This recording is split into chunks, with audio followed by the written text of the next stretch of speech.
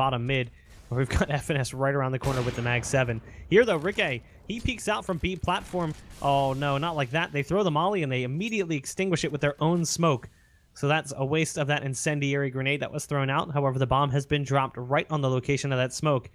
Ethan, you gotta watch out. There's two players in drop room, and he's right on the other side. He hears them jumping around. Did he spot him though? It doesn't look like he saw Nitro going through that smoke, so he's gonna be in position to take a fight here in just a moment with Nitro with this UMP.